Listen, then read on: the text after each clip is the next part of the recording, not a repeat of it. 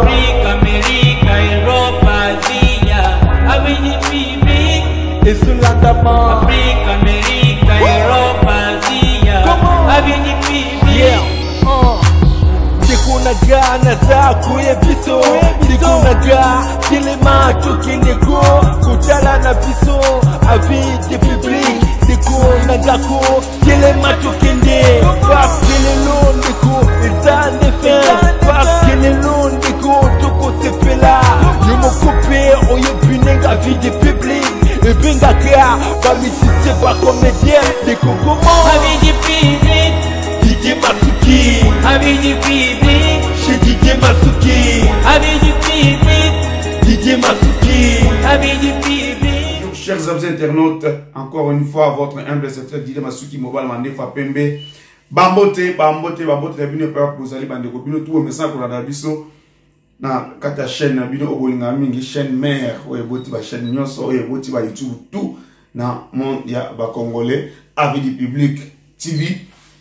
toye lisusu bandeko nde boyebi didie masuki atant ke attaché de presse ya lekingi lekimakuta toye kosolola na bino kaka ndenge ezalaka boyeba ba santé ya artiste na bino le marché de rive ekono le nouveau pape de la région kitendi le king de kimakuta le king le véritable king puisqu'il y a des faux mais lui il est le véritable king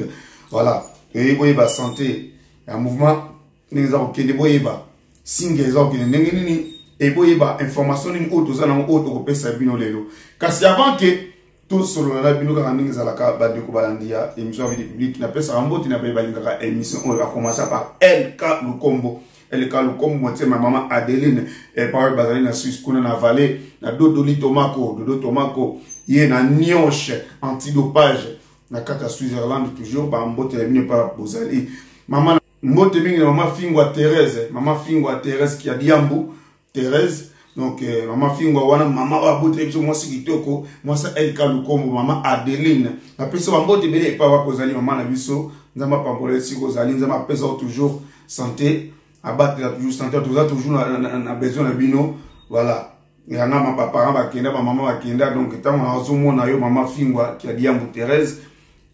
je te considère vraiment comme ma maman je te considère pas mais oza maman na ngai vraiment nzambe apambola yo mon grand frère makina makina lele epa ozali papa makina lele eduardo motema ya mama marte esika ozali yo nayebi oliaka yango kaka plat moko oliaka yango kaka sani moko oliaka basani mibale te misato te c'est-à-dire azalaka nde kaka na mwasi moko vraiment bambote na bino bino tu bolandaka biso ya vidi publique bandeko nayebisaki bino ke rive kono le marchal king de kimakuta rive kono azobuka kinshasa na ndenge akosakana te aningisi kinshasa basaper na kine ekomi dega ya ngambo oyo na ya ngambo oyo oyo baloba boye oyo baloba boye nienge nienge nienge tone na paris makambo oyo toyebi te soki kosukisa yango ndenge nini kulutu asha movoto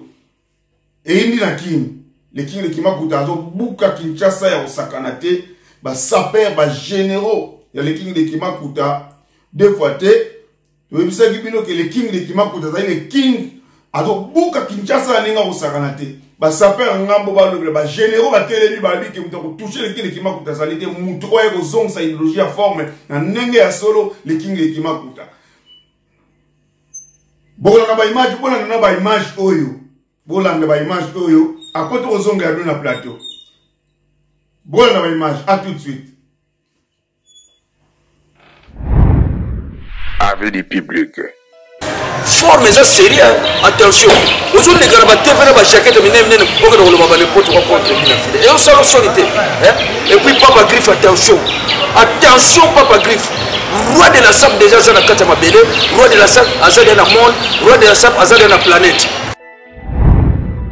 avis du public diego kawa découvrir la mouche du fleuve zaïre hein? vers 1882 epuis ville ya kinshasa esalemi na 1925 ekare eza molai biso na bango alors lelo bapapa griffe cheke moto na kwana ye nga saper nga saper nga na bana bobandelaka makambo yango na sape eza kaka ndenge wana de un pays dans un pays soki omoni mwana moke azoleka na tv bapetio ya mike mike aoleka na tv azomanke saper d'etat oyo asali to na monde asala etale na miso ya molimo mama na mokila na nsima ponchor abangaka motu te ndoki abangaka motu te ata oza mokolo ndoki ya banga moto te mpo soki ata na miso ya molimo mwazali na balela butu ya leki ndoki akobanga makambo yango eko euta koto oyo soki tondimi motu wana yango mo meme na poto meme okangami foto na mese yoshi soki biso toboyi yo yebaka ke mosala nyonso osala eza mosala nkunda donc confirmation eza nde biso awa batusiana bosalaka baje na bino wana oke na gambela osombi mo elamba na otongisi eh, otongisi mwa elamba na yo bosalanaka baje na bino wana bino na bino na kinshasa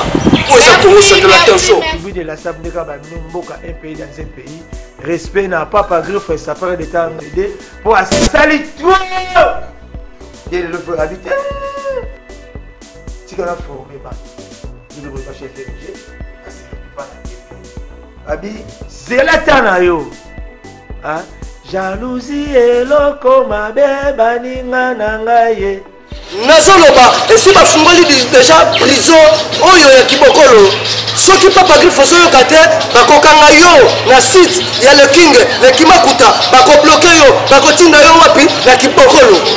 parce que okomi kosala bafantir na makambo ya bilamba papa Chris panda papa wemba daya kinkestera daya nanu ngai namona yo na collection ya solo te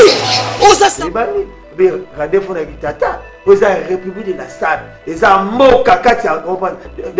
eza mboka etala tous les sapeurs olinga papa griffe olinga ye te ye naza gara de la salle papa benda nano awa bakomi nini jime weston est ce que ye mokoki kosala sapato oyo moto azosala sapato badessin oyo etengama epuis ngai na question natunaki ndeko nanga dadi mbela papa, papa, eh, papa griffe Aza cordonnier te, azali commissionnaire ya ba cordonnier, azwa bato lokola na njili. Soki oke kokende okuta ba souve, ba maître epai, ba guide forme, azwa bango nyonso akotia bango na ONG. Ba criminel ya sat bazali, ba shege bazali, ba kuluna ya sat bazali. Ata emoni moto na TV aye aleki benga azobude sapeur d'etat oye boye te faut comprendre nde aza shege na liboma jamais balandaka grand prêtre rive kono yo okorepondaka banyama mike mike te donc charge ya banyama mike mike nyonso tu eza na motu na biso parce que je suis le chef d'état major général de la sap otie tembe meme na poto meme wapi osengi combat cash osengi combat cash nazoloba ngo te émission eza na intérêt tozopanzana partout ozomona donc papa griffe tika ba desordre na monde ya sa isalaki ndeki yango moto ekaboli famille bayaya baliya banoko baliya bavoisin baliya nga moko mokolo bo le dauphin mokolo bo papa griffe mokolo sape parce que oza saper te naolongola na lunette mpo otalanga bien nazoloba no papa gripe tika desordre na monde sap okosano bato ebele ke ozalaka saper ebele mpe bandimela yo na lokuta na yo wana lokola ozwa mwa chance na baplace mosusutikalakaa ndenge wana tika koluka midi ya 14 abunda to asala to na monde asap asesa badefile de monde nini tout biloko wana papa wemba asala vie kesi azala papa grife azobunda bino bayuma boyebani te nga soki pape de la religion dimfuati nayebi te awuta wapi mpe bayuma bozosoutenir ye c'est normal aveugle azomema aveugle grand prêtre jenga samuel okoma lokola grand prêtre jenga samuel ekozwa yo temps parce que jenga samuel aza moto ya liboso oyo bayemba na bala oke le sel jeune oyo bayemba na papa lutumba jenga samuel okoma lokola fil ozolida luzoni ekozwa yo temps avis du public voilà bandeko bouti kolanda bongo extrait extrait ndenge basaper bazwi panique na kin bango na bango bagénéraux ya letingi lekimakuta batondolo bilele bakrokwa luozi bango tu bango tu bango tu bolandi ndenge bakokutana kuna mpo na généraux na bango général na bango le king de kimakuta bandeko nayebisaki bino ke le king de kimakuta le marchal de rive nkono bamosusu bazocomprendre te ntango basusu bayebi akomba bilamba akoma kitendi bamosusu bazokanisa nini ke eza système ya kivoyou eza système ya kivoyou te toyebisaki bino ke le king de kimakuta marchal de rive nkono aye kovalorize likambo ya sable aye kolongola kivoyu na likambo ya sap il n'est pas comme les autres musiciens aza lokola basapere mosusu te akoleka na tele aza kolobelobela ngai naza na otal de chaussure ngai naza na otal de valise ya bilamba ngai naza na boyeboye mais innovation eza te baide eza te mais likingi lekima kuta le marché le rive ekono aye kochange badonnée ya forme aye kolongola kivoyou na niveau ya forme c'est-à-dire aye na système jeune ntango ozolata il faut tongaka na afrique jeune ntango ozolata il faut tanga classe il faut sala baformation ba, ba, ba exemple ya liboso ezali ye moko ntango akosala na musike akofanda baniarcos na bapapa oyo babango tout atikaki bango atikaki bango mti moma akei akei koyekola akei kotanga classe e na classe oyo asilisi lelo aza entrepreneur oyo aza na entreprise ya monene na mboka oyo ya swisse yango na tie bino biloko ba swisse mpona kovalorize le king de kimakuta de marshal, marshal rive nkono e ntango azwi mayele ya motu ya classe aye kozongela miziki me ntango aye kozongela miziki aye avec idéologie baidéologie nini na yango ebele aye kovalorize bacouturier africain c'est pour cela kotia yango bozomona image oyo eza liboso oza komona média international baye kokomprendre ke rive ekono aye na makanisi ya bien koreconnaitre bamoderniste africain bacouturier africain oyo bato ebele baloba kaka na latre nasalaka problème mais baza na idéologie moko te baza na eloko moko te na motu asha movoto kulutu nanga mpe nanga asha movoto shikito moshashino nayebi te makambo nazo basuku naza koloba lokuta motu na vie il faut ozalaka na baidéologie il faut ozala na idéologie lelo mingi bakoma olobaka nafana nani yarkos nasala boye boye nga nafana papa wemba nga na manzemba forme mais ochange nini na musique congolaise ile nini oye nango oye na eloko moko te otransforme eloko moko te kaka makambo ya kala kivoyu nga naza bachaussure boye nga naza na boye boye eloko moko osala ya malonga eza te mais le marché ya rive ekono tala makanisi aye nango tala makanisi aye nango bino tu bobenga niarkos le ngache niarkos boye boye boye boye mutu moko te apensa e misusu kutu ata nzela kim bayebi te bamona ata tombe ya niarkos boye te ebele na poto awa ah, bavanda pembe na niarkos basolola na ye me bamona ata bamona te esika bakunda niarkos te pierre tombal kutu apa moto ba pierre tombal ebeba na liva kini motu moko apensa kokende kosala pierre tombal koye batya ata couleur apamba ata peinture apamba motu te me aye na ideologie lokola motu oyo amema ideologie ya sap na mboka nazo congo rdc epi na congo braza ye azwi yango na braza epi azongo aye nango na ngamba congo kinshasa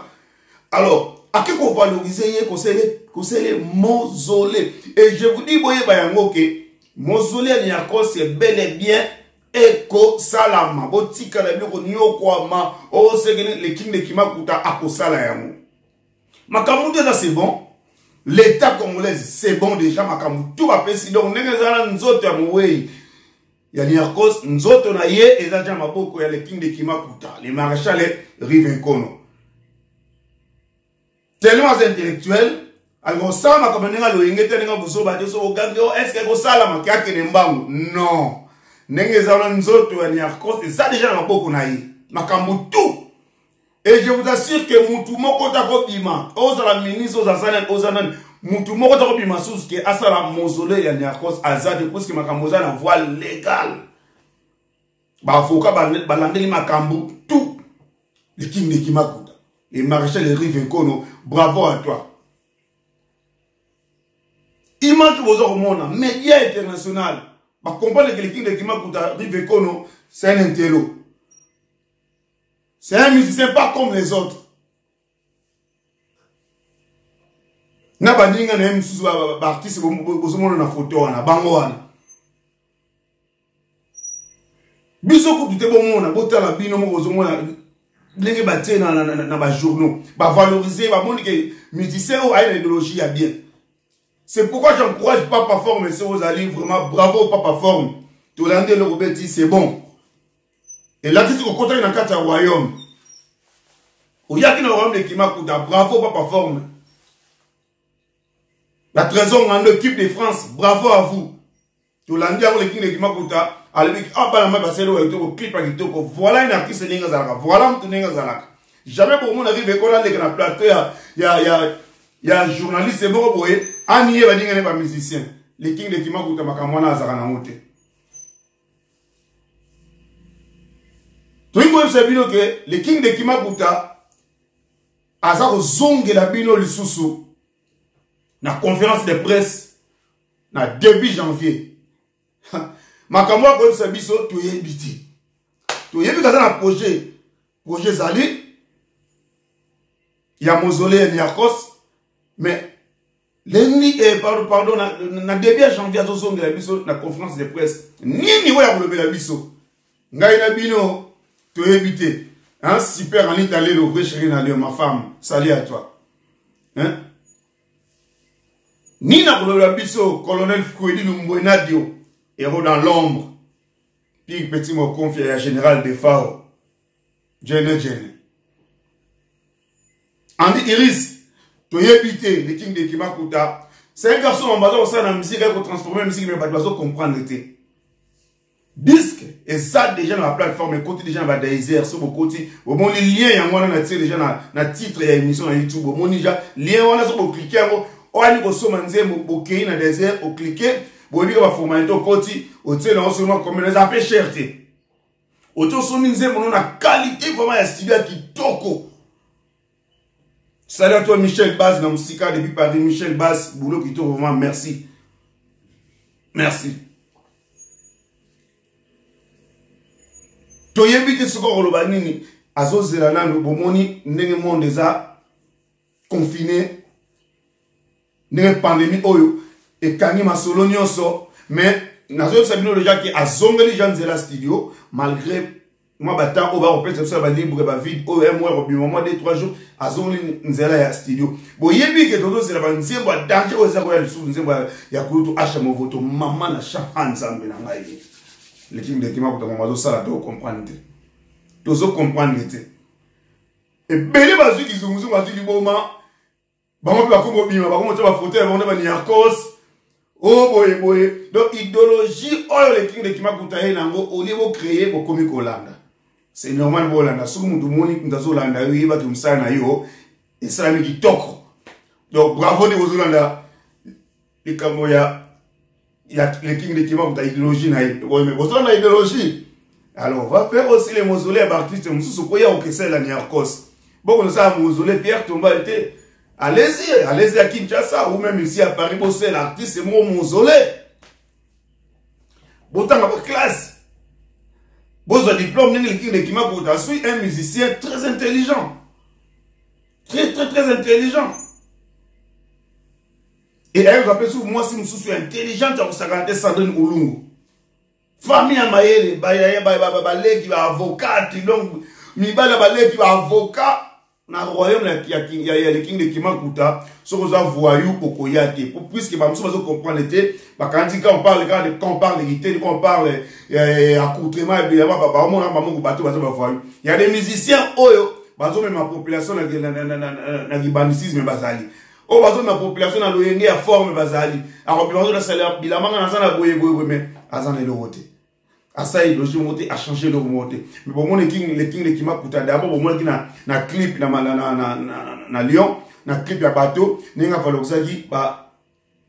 ba couturier africain il y avait Andy Riss apresentaki maison na ye maison d'habillement na ye Andy Riss bomonaki donc le king de kimoko aye na idéologie moko boye aosala ba centre na kati ya, ya Luanda ba centre minene mpo na kosunga ba jeune tout ça tout ça voilà un musicien comment il peut ce qui peut faire un musicien donc le king de kimakuta aye na système ya sap sans injure sape avec intelligence yango oyo aye nango aye kaka te konga naza na dima nga na di valise ya bilamba nga nazala na 50 valise ya bilamba nga nazalaka na boyeboye te ye yango te ye yango te donc euh, santé ya, ya, ya, ya, ya, ya single ya biso eza très bien single très bien bazobenga biso de gauche à droite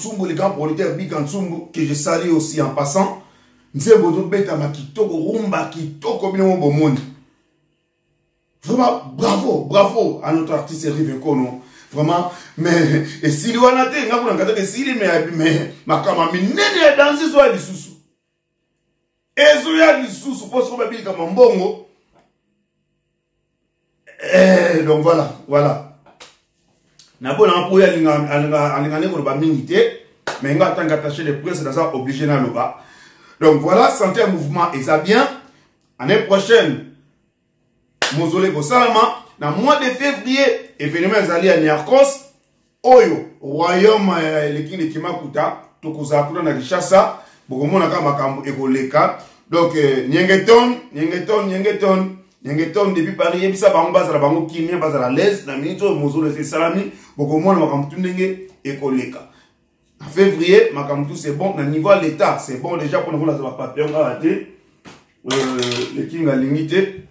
alingi te lakisa bapapier yango mais en tout cas na niveau l'état c'est bon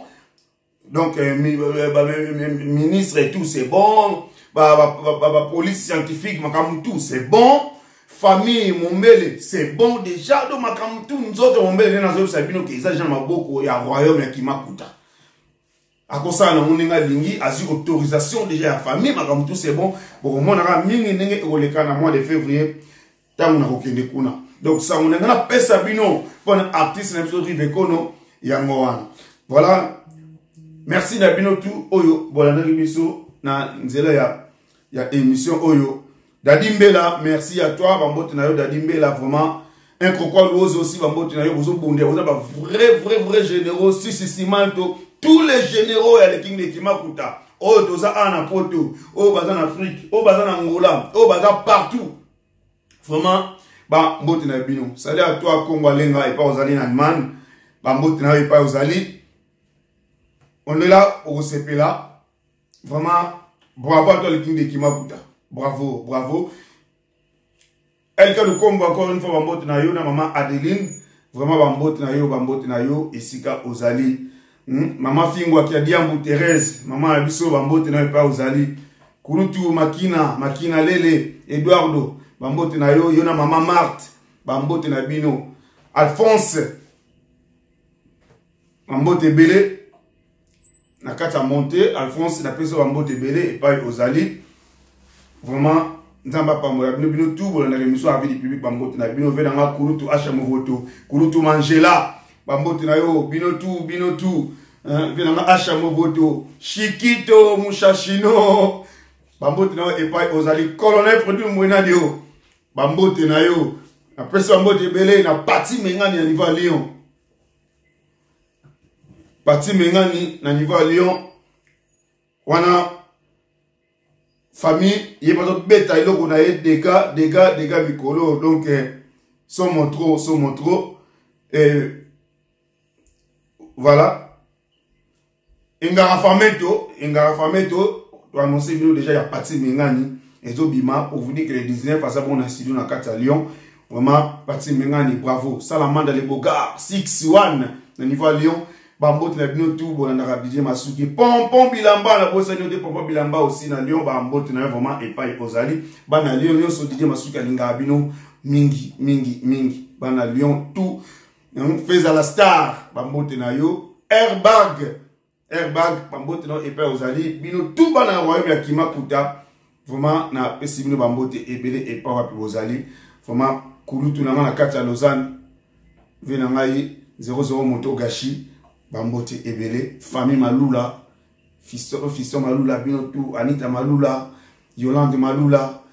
sere na ngai odette sœur Odette ya mukolo bino tout ba mbote na bino Didier Masuki alingaka bino mingi vraiment mama na nga Véronique ba mbote na bino epai bozali natiki mibola na clip oyo ya le king de kimakuta yango toza kokabwanela na bino lelo tomonani bongo na prochaine émission merci beaucoup à tout le monde super anita lelo